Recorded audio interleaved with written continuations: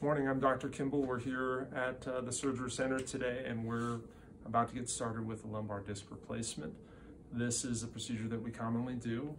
The indication for the procedure is usually low back pain and or some type of sciatic leg pain. The disc in the back will essentially fail. Sometimes it'll herniate out and push on a nerve root after patients have gone through months and months of non-surgical treatments this is something that we consider to repair or replace the disc, essentially. There are other procedures like a microdiscectomy or a lumbar fusion that are on the uh, consideration list, but none of those procedures allow for the disc to be restored to its natural height and function. Um, and also this procedure, the main plus is that we don't have to fixate or fuse any of the bones which allows the patient to maintain mobility, stay active, and ultimately get back to a normal functional disc and a normal functional life. So this patient that we're going to be operating on today, she's 39 years old. She was involved in a motor vehicle accident and, and has had chronic back pain since then. She also has some leg pain. Her disc herniation is unique in that I don't think that it is one that will be fixed well with a uh, disc fragment removal or fusion. She's way too young to have a fusion in my opinion. The fusion, as you know, is problematic for any patient because it sets them up for having the possibility of needing another surgery, and we want to avoid that.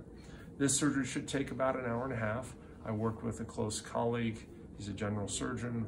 We do the approach together, four surgeon hands in the in the uh, uh, operating room, operating the whole time. Uh, We'll make a small incision on the belly, very low down, below the bikini line, and uh, the incision should be maybe an inch and a half to two inches maximum. We're going to use this approach because it's really the only way that you can replace the disc in the spine. It might sound a little bit odd to operate on the spine through the stomach. What are you going to do with all the other organs and vessels and bowel, et cetera, that's there? Uh, there's a special approach called an extraperitoneal approach. That's a big medical word basically means we're going to go around all the tissue that's there. We're never even going to see the bowel and everything's going to be gently pulled out of position.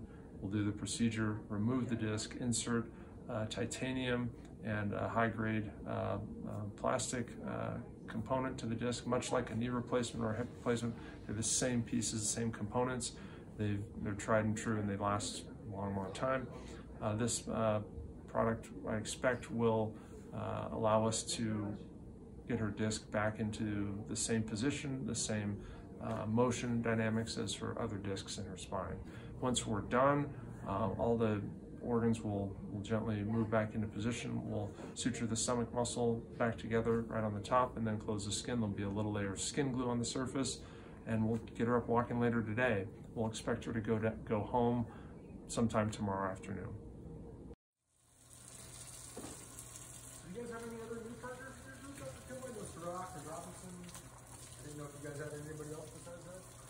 Okay, so we just finished up with the surgery. Um, everything went just fine, no problems at all. We were able to get the disc out and replace it with a new artificial disc. It looks absolutely perfect.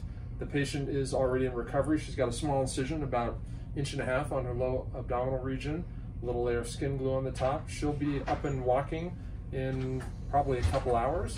Uh, the next steps for her will be really just getting her used to her new disc and learning to move with her new disc. Okay, so the patient's already in recovery. She will be there for probably two to three hours and um, really just letting the anesthesia wear off. And then what we'll do is we'll get her up and let her start walking around. Um, she's gonna feel some pain in her abdominal region because that's where we operated. We went through the, the stomach muscle and pulled the tissue over to get access to the spine. Her back will be a little bit sore. That's not unreasonable. We've done some what I call permanent chiropractic adjustments to the spine, taken out literally the entire disc and replaced it with an artificial disc. And our body's gonna have to get used to that. Our nerves are gonna have to get used to that. On occasion, patients will feel a bit of aching and pain down in the lower extremities. Sometimes that can last for a couple weeks, even for a month. But as the body recovers and gets used to being back into a normal uh, state as far as the disc and disc functioning goes, then the body generally heals quite well. my experience is these patients that have disc replacement, uh, um, they're able to get back to activity and um, really try to get on with their life without having any further surgery down the road. And that's the big plus with disc replacement.